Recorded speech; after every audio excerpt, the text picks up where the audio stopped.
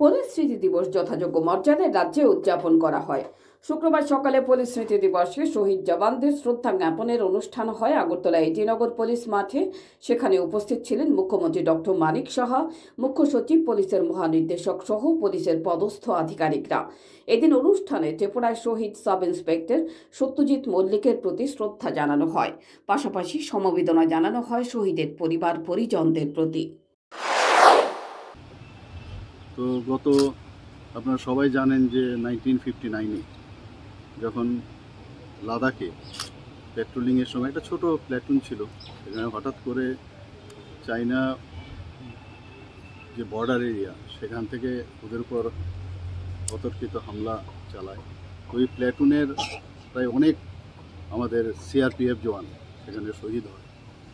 তো সেটাকে স্মরণ রাখার জন্য নাইনটিন সিক্সটির থেকে আজকের দিনে তারিখটাও ছিল আজকে টোয়েন্টি ফার্স্ট অক্টোবর সো সেই দিনটিকে স্মরণ রাখার জন্য আমাদের এই স্মৃতি দিবস হিসাবে আমরা পালন করি।